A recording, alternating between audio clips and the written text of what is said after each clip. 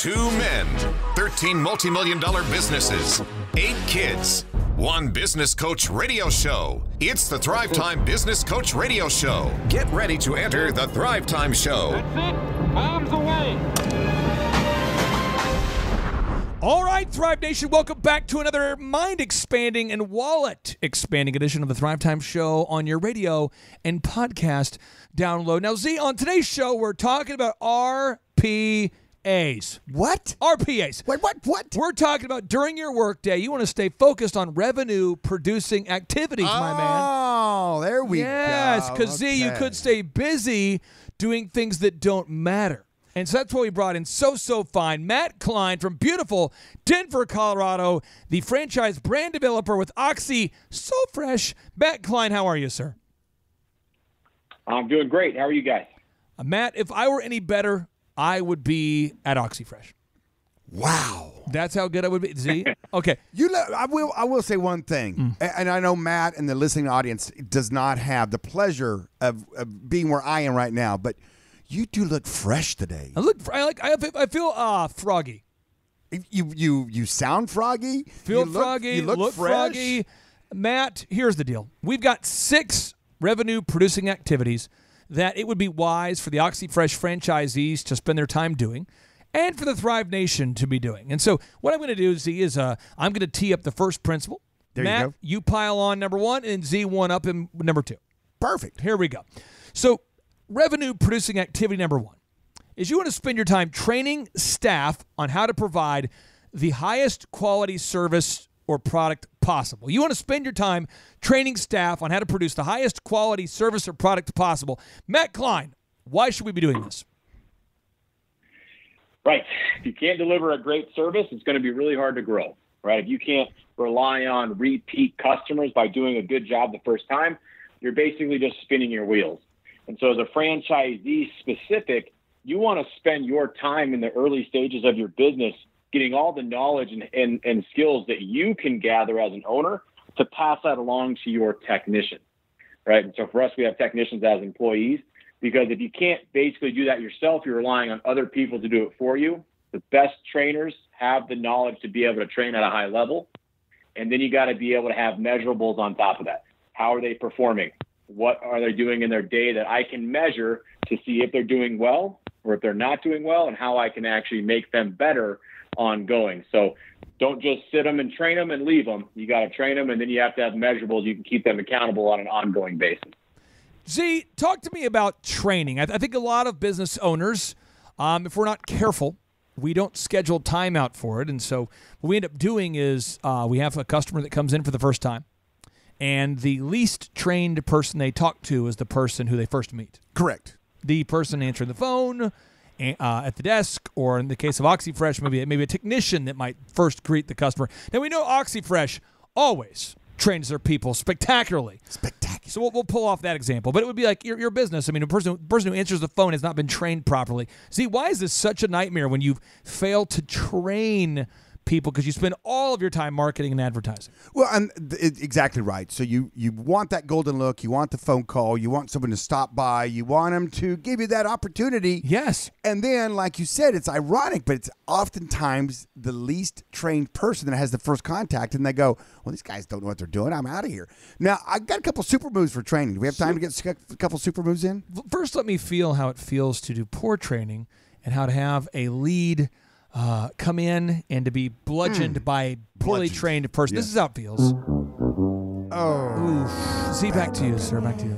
a super move out there. If you're listening, going, "Well, we don't have time. When do we do it? Who does it? How do we do it?" Here's the move: over lunch break, you buy lunch. You have your staff stay in in the break room, and you do training over lunch. All right. Um, you know, we do two shifts, uh, like from optometry clinic. And the other super move you can do is have like a, um, say, a contact lens rep come in and have have them buy lunch, and then they get to do training with your employee staff on new products and how to insert and do contacts and all that kind of stuff. And so you can use your reps that are calling on you for training. They love to do it. They they are an expert in that field. And then also, if you have them do it over lunch, you can have them maybe throw in a little free lunch for you. Let me let me let me uh, uh, pile on with Z here. There are three ways, three ways to guarantee that your staff will always be trained to the highest level possible. One, train people during lunch, like Dr. Z just said. That's a powerful thing you can do. Everyone's having lunch, cater in some lunch, boom, train people. Two, never work alone. I mean, if you're an entrepreneur and you it's you and you clean carpets, or you're the only optometrist, wouldn't it make sense to have the other optometrist shadow you or the new person shadow you? See, isn't it powerful to have have somebody shadowing you as opposed to just working alone? Isn't that a powerful move? Shadow like a ninja. Yeah. Just like right there. Well, because you can learn through osmosis. They can watch you do what you do. They can pick up on your habits, your routines. You Your to all black and like a headband and a samurai sword, or is that, is that a little much? Like, a little- far? it's- I went it could be a little much. I went a then- little much. Okay. And then so you want to schedule time to train. You want to put it in the calendar. Don't just say we'll get to it. well, do, you know what? That's a good idea. We'll get to it. That's a good idea. Now, revenue producing activity number two, Mr. So So Fine, Matt Klein in Denver, Colorado. Training staff on how to upserve clients. Training staff on how to upserve clients. Some might call it upsell. Some might call it upserve. I like what you. I like what you said. Some might call it Upserve up. What up, though? Yeah. Why is it so important, Matt, that your team is aware of all the products and services, all the solutions that you can provide for your ideal and likely buyers? Sure. And we're a very good example of that. We have a lot of opportunity for this within OxyFresh. And I think one of the common misconceptions is that, as you say, upsell or, or upcharge, it, it, it can be a negative thing if not done correctly. So you want to train your employees on how to do it in a manner that is helping your customers, not forcing them into something they don't need. And so for us, perfect example is going to be carpet compared to tile and grout. A lot of people will look for a carpet cleaner right? And then they also might look separately for a tile and grout cleaner because they may not know that we offer all those services. So while we're in the home, there to actually service the carpet and upholstery, you can also, say, hey, you guys have a lot of tile here. Have you guys ever thought about cleaning that? Right? We can be a very good option for you. So now you give them something that they may want to do. They're not going to have to call another company, but they did it in a manner that suggests that they may need it, not forcing them into something they don't need. So that will increase your ROIs in a huge amount, right? Every single month. If you have incentivized pay for your employees, that gives them a reason to do it every time. And now it's a habit that they've formed that will increase your bottom line, but also increase their monthly paycheck. So everybody wins, including the customer. So that, that's mm-hmm. training to have them understand why it's important, how that benefits their paycheck, and how that benefits the customer. All of those things will in turn grow your business on a day to day basis. Z, what if somebody came into your optometry clinic and they only bought one pair of glasses and never got a pair of contacts or another backup pair or never came back again? It was just one and done transactions with the lowest possible price product. What would eventually happen to Dr. Robert? I mean, say you sold Dr. Robert Zellner as an associates to uh, Dr. Lose-A-Lots. Lose So it's Dr. Zellner and Associates, but it's owned by Dr. Lose-A-Lots. Wow. And this guy doesn't ever name. teach his team on how to upsell, how to upserve. He doesn't teach them all the ways to uh, show the customer how they can solve more problems. He doesn't talk about the contacts, the backup glasses, the new kinds of things you get. What what would happen to the business? Well, you know, it wouldn't make as much money, obviously. I mean, everything we sell, we make money on. But the thing about it is, repeat customers are a wonderful way to grow a business. And also, you know, you say upserve. I like that term, by the way. It's Jim than up- came up with the phrase. It's, it's Jim better than- it, it doesn't sound as, as notorious as upsell them. But I think the thing Ah. about it is, is that, you know, people come in and they have problems that need to be solved and you're there to help them solve them. And they don't know about new technology. They don't know about new products. They don't know about new stuff out there. And so it's, you know, it's your employee's job is to educate them and let them make a decision. Yeah, Uh, Z, I'm not sure if you, uh, Z, you you quote him a lot, but are you familiar with Jack Welch? I know you quote him a lot, but do you have any idea who he is? Yeah, yes, he was the CEO of the largest corporation in the world. He grew it like four thousand percent, and that's GE. Yeah. Um, it was a, you know he was an engineer when they hired him, and they gave him this product, and they said we don't know what to do with this, but uh, we're going to call it plastic. See what you can figure out with this. Well, one of the And- things that one of the things that Jack Welch did when, as he rose up the company is every division he was in, he improved it dramatically. Yes. And the company GE at the time was stagnant; it hadn't grown in a long time. Mm-hmm. And uh, he took over, and man, he grew the thing by four thousand percent, as you said. rocked it. And then when he retired, it, not so good. But Jack had this notable quotable that he said that seems on the surface pretty simple, but then when you read the book uh, straight from the gut, it, it gets pretty detailed. He said the team with the best players wins, and we're like, okay, that, that's, Yeah, that makes, sense. sense, yeah. But what he explains in straight from the gut is a company that prides itself on training and empowering people relentlessly creates great players. So if you have very talented people, but you don't invest the time coaching them and training them, I mean, see, think about your auto auction. Think about your team there. Think about just getting the cars in in the right rows to sell them. Can you explain for the listeners out there who've never seen somebody sell a thousand cars on one day? What does it look like when all 1,000 cars, Matt, Matt, you got to check this out. It's Z66AA.com. Check this out. See, when you get a thousand cars in, in, in what just explain what that looks like because it is just that is a feat just getting the cars in order to sell. Well, it's 15 acres all full of cars. That's what it looks like. But it's um, the, when you go on the website, you can watch some of the videos and kind of actually see it. But it's a it looks like a long garage and it has seven bays, you know, either side, and you drive in. So you basically are selling seven cars at a time. Some weeks six, some weeks seven. Just depends on how many cars we have. Um, and so you drive. So it, everybody has their own lane, their own auctioneer, their own their own. Um, you know, spotter. They're uh, we call them a clerk. We have an upper clerk and a lower clerk. They're doing the paperwork and, and putting things in the computer as the cars are coming through. And so it's just it's kind of fun. It's it's mesmerizing but it's there's a lot to it. But dude, you got to you got to clean the car on the outside, oh, yeah. right? You got to right. clean outside of the car. You got to clean the inside of the car, detail it. You got to check under the hood to make sure it's looking good. You, you, you got to run the. check it in. You got to get it in the right order. You got to get it in the right place. Check the right that placement. VIN number. Oh yeah, and then what oh, happens? Oh. And then you have your drivers driving. As soon as they drive one through, then they park out and jump in the next one and drive it through. So you have you know, 100 guys driving cars because you need several of them in for each lane and it it is uh, controlled chaos. And if you did not train people, let's just say that three or four cars got out of order because those things are packed in oh, tight, yeah. bro. Tight. What happens? Oh, it's chaos. It's dogs and cats living together. Acid rain. I mean, it's. What if you don't? What if you don't check? What if you don't just uh, tell Matt? Lava. Tell tell Matt and the listeners. What happens if you don't check the VIN number and make sure the title is proper? Uh, and make sure that the car has not been in, in accidents in the past. What happens just one time if you forget to do that? You get yelled at.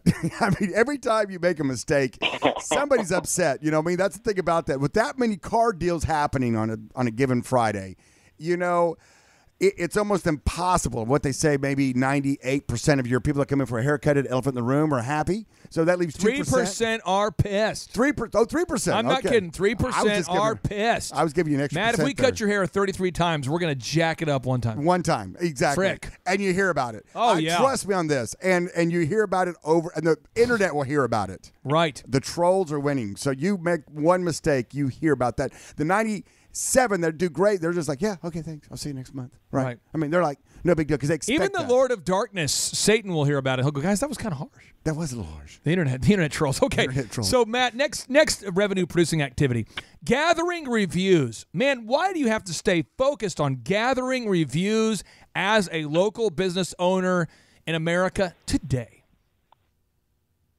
Sure. This one is extremely important. I don't care what you're doing because people have the ability and they're confident on their phone and their computers, whether it's desktop, whatever.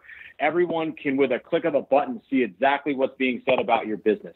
So if you don't gather and go out and actively collect good reviews from your customers, then somebody else will, right? So if all you do that 3%, I guarantee you that 3% you just talked to is going to give you a review, right? Those are people that will actively go out and try to hurt your business or what have you, right? And, and sometimes it's justified, sometimes it's not. You should always be able to get those and fix the problem first and foremost. However, if you're not actively going out and, and getting reviews and asking for them and going above and beyond for your customer, then no one's going to know what's going on. So if you have 100 reviews, and even if the 3%, right, even if there's three of them that are bad, that's okay. But if you have 100 and 97 of them are positive, then the person that's going to call you is going to feel comfortable because 97 other people have actually done it and gone out and, and spent the time and effort giving you review. If you can look at any service brand company, any company out there, including food, and you can go and do a Google search and see who their competitors are and see who's doing good and who's doing bad without anything beyond just a Google search. So people are doing it actively. You need to be at the top of that. You need to put the effort into it. And it all starts with training and then also doing a good job and then getting those reviews and asking for them while you're doing it. Don't wait for the customer to do it for you. They will not do it. You have to basically ask them to do it. Z, we have our in-person workshops. I want to show you right now. As of right now, I got 536 reviews, and right now, as of right now, I got 535 five stars. But Z, you know what happened? I got one four star. Oh, Come on, man. Who does a four star? Come on. And I train myself a lot. I do a lot of training with myself. Yeah. I watch an endless amount of videos. Matt, where do people get off giving me a four? Matt, come on now. Tuck me off a ledge, man. well, the, the problem is, is I've, I've had four stars before. Oof. Those are actually more frustrating than a four star review when they said everything was perfect. Four star reviews, I loved it all. Ah. Well, I'm moving on. I gotta move love on. I, everything. I'm Oh. off. I'm just now. Now the next, the next but here's revenue. the other thing. yeah, go for it. Yeah. Before we go on to that, there's Yeah. a very important thing about bad reviews. Bad reviews should be addressed immediately. And I guarantee you, if you fix something wrong, you're going to get a good review just because you went out of your way and you did the right thing and you fixed whatever was going out there. So don't ignore bad reviews. Treat them as if they are as important as a five star or even more and fix them. Reviews are reviews and you got to look at all of them and you got to respond to all of them. Matt, I have an audio clip. Uh, I actually, I hope this doesn't. Z, I feel, I feel kind of bad about this confession here. You- You'll probably get over it though. I put a lavalier mic inside oh, Matt's cranium. yes. inside his, his mop, inside his gourd, Yeah. without his permission. And this is Matt. I apologize. This is what we call cranium mic technology. Uh, Z and I worked together with some of the leading optometrists to develop this. It, uh, it you, when I high five you, it somehow weaves its way in through your ear hole into your cranium. So here we go. This is how you felt. This is what was going on in your head the last time you read a bad review. Matt, are you, Matt, are you ready? Yep. I'm sorry about that. I was a little unethical there to do that. It was- it was- the, the, the technology is getting right. kind of creepy. it is getting kind of creepy, but you know it's kind of fun because it gives insight Yes. Into what the, the leaders and shakers and doers of this world are doing. And that's what Thrive Nation wants to know. Well, a lot of people are worried about uh, artificial intelligence. Let me tell you this: any in, in- any intelligence that you're picking up from me right now on this podcast is 100% fake. We continue. Wait, it's artificial. So yeah. Yeah. Okay. So okay. Now We don't want recruiting people. Point four. Point four.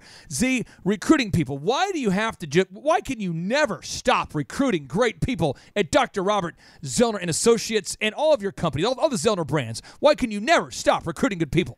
I'll tell you why. You want to know why? I want to know why.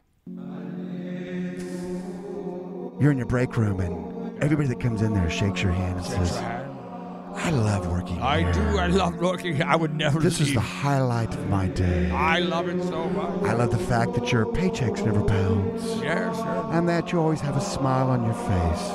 Yes. You're firm, You're firm. but you're nice. Nice. And I appreciate Not too that. firm, like a like a perfect mattress to me. That's how I would describe it. The next day, Next. Day. Oh, by the way, Oh, can we talk? I this is my last day. I've got an, an offer for an extra 50 cents an hour down the road, and I'm in fact I'm clocking out right now and leaving. And I love I love the kind of crying where it's like a where they go to suck it in. Ma- ma- really- ma- Mr. Ray, have you ever seen- it's, a, it's, a, it's the sprinkler crying. Oh yeah.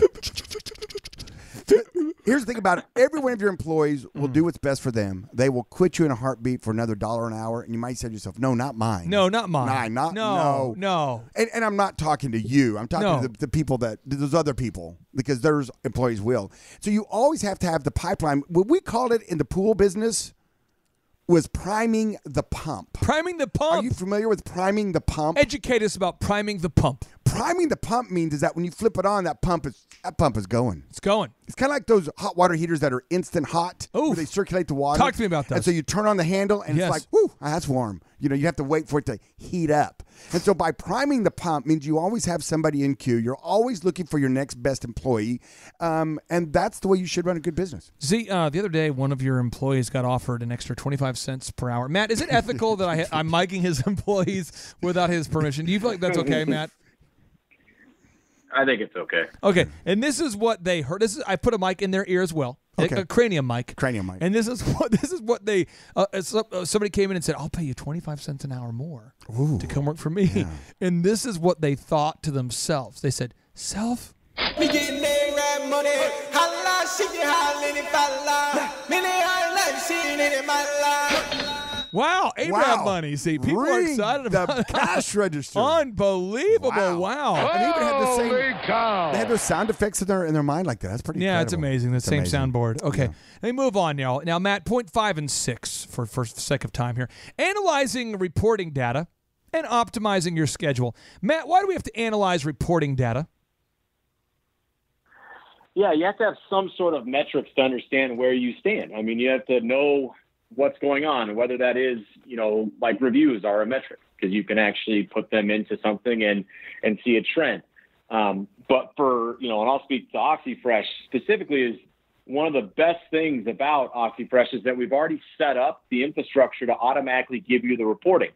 So when we talk about the reporting with OxyFresh, it's that you need to use it because it's already sitting there for you. So whether it's looking at marketing and understanding where your best return on investment is, and and more importantly than that, where your worst return on investment is, so that you can actually make managerial decisions to make that one that's bad mm. good again.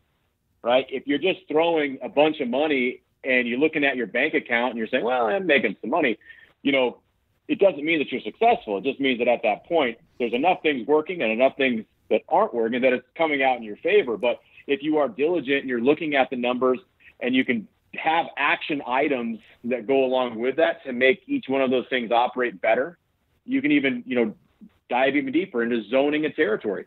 So I spend, you know, 20 less miles driven per day by just making some changes. And so if you do that and you extend that over a year and then you extend that over multiple vehicles, now you're not only more efficient in your day, you can do more jobs, but you're saving yourself on money Yes. and your your technicians are making more. So all of those things, reporting is extremely important. You just have to schedule it in your day to to look at it. Don't just set it. You got to keep looking at it. you can't just set it and forget it. No, no, can't. you can't just. Well, set you it can, and forget but then you forget it. Then you're gonna end up You with- certainly can. You, you ca- well, I guess you you can set it and forget do it, but then you're going to be end up living in a van down. See, if you set it and forget it, this is what's going to happen to you and your business. Now, you kids are probably saying to yourselves, hey, I'm gonna go out and I'm gonna get the world by the tail and wrap it around and pull it down and put it in my pocket. Well, I'm here to tell you that you're probably gonna find out as you go out there that you're not going to amount to jack squat. A little bit harsh, a little bit harsh, but that's what's going to happen if you set it and forget it. Point six, Matt. Optimizing your schedule. You agree you have to optimize your schedule. Z, why do you have to look at your schedule on at least a weekly basis and say, Am I doing what I should be doing? Because that's how you get stuff done. Come on. If you don't wake up in the morning and know what your most important thing you need to get done that day, Ha! listen to me, my brothers and sisters out there Go ahead. in radio podcast land. Come on now. Open those ears. Close that mouth for a moment. Okay. I'm talking to you. Who you talking to? I'm talking to you. Who? I'm talking to Thrive Nation. ah! Now listen, if you want to get something done, Glory!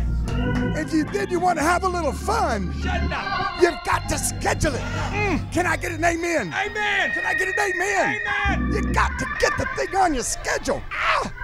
And then ah. you gotta look at your schedule and actually do what it says to do that day. Mm-hmm.